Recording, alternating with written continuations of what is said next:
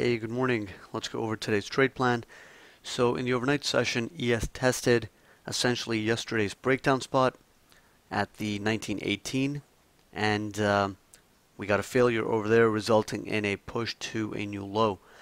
down towards 1903 we had support at 1900.75 to 1902.75 responsive buyers were active on first test one tick ahead of that zone and right now we're more or less just balancing near the lows near the bottom of the recent range so heading into the open we're going to watch how the market reacts to 06 to 07 half this is the bottom of a previous short-term balance area and holding above it would just tell us that there is a little bit of short-term stability in the market and that you know perhaps this is not a market that's going to liquidate on the day time frame. So, you know, we are going to watch 06 to 07 half. 1910 to 1912 is key resistance heading into the open and sellers can maintain control below that area. So if ES actually pops and breaks above 1910 to 1912, you know, that would be yet another sign that this is not a liquidation type day. That, uh, you know, the market's actually stabilizing and responsive buyers are being pretty aggressive and stepping in at these lower prices. So as long as we hold below 06 to 07 half or even 10 to 12, we know that sellers can maintain control and will be very cautious on the long side. But at the same time, if the market does start holding above these levels, then we have to be actually a bit more cautious on the short side uh, because at that point we could quite easily, above 10 to 12, you know, go up and fill the gap at 13, uh, naked VPOC at 15, and then test the overnight high and um, uh, the resistance at 16 quarter to 18 quarter. So, uh, you know, off the open, even though short term right now the bias is bearish, we just have to be flexible enough to adapt if things turn around. And, um, you know, this uh, sell off that started in the overnight session doesn't have any follow through in the day session. Uh, so, you know, by default, we're going to be cautious on the long side. And, uh, you know, our bias is bearish heading into the open. But just, you know, be flexible enough to adapt if uh, the market does start actually stabilizing above 06 to 07 half, and then especially if 10 to 12 uh, gets taken out to the upside, at that point, uh, you know, that liquidation scenario, or at least, uh, you know, follow through and continued liquidation on the day time frame would be, uh, you know, a low probability event. But um, as long as we hold below 06 to 07 half, 1910 to 12, the sellers can still press it, and we could get a uh, push down to the lower support zones. The 1975 to 1902.75 calls for caution because we've already gotten a reaction at 1903. Uh, so it's still a valid support zone, and depending how you know how price approaches it, and uh, depending on how the internals are shaping up, it could still be a potential long setup. But it does call for caution because we have already reacted at 1903, and now it would be second test, and most likely um, the second time we go down there, the market will push a bit lower in order to find buyers. Below 1900, we have support at 95.75 to 97.75, and then better support at 91.75 to 93.75, and strong support at 87.5 to 1890. And that's an area that was first discussed when we actually started this big liquidation move,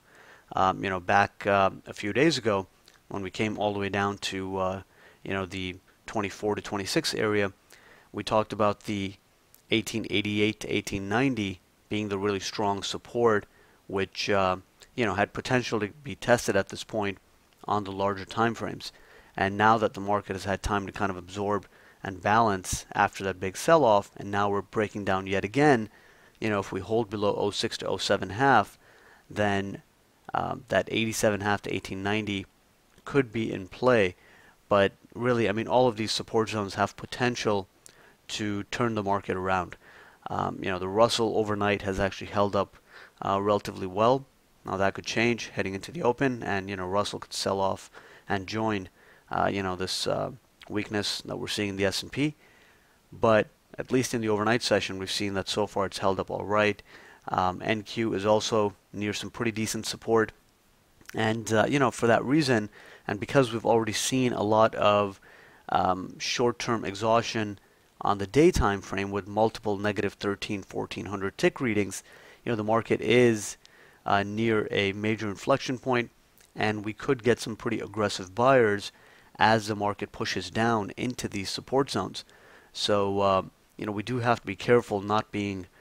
overly bearish at too low of a price. Um, you know, if we're getting good trade entry and uh, we're managing risk properly and we're being cautious even on the short side, um, then you know this market's fine, and um,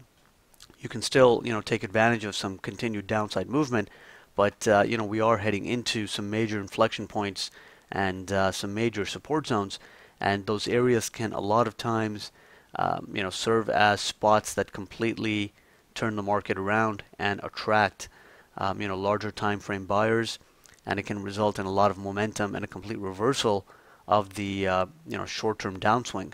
So right now, the the way the context is set up, you know, we know that short-term the market's weak, but at the same time, uh, we know that we're heading into some pretty major support areas below, and that can turn the market around. And uh, you know, we could see some aggressive buyers stepping in at some of these lower prices, um, and uh, you know that can result in a complete uh, shift from you know downside momentum back to upside momentum. So we'll just have to uh, you know keep the overall context in mind, and um, you know right now we are still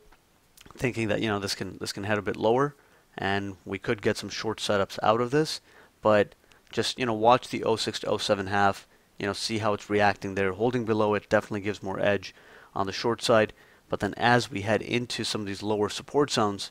you know that's where the buy side can be a bit aggressive, and um, you know it's it's it's a good idea to cover and at least take profit at those support zones um, if you're short, and then potentially even look for long setups, right? Especially at 91.75 to 93.75 and 87.5 to 90. Um, you know that's an area that really has potential to uh,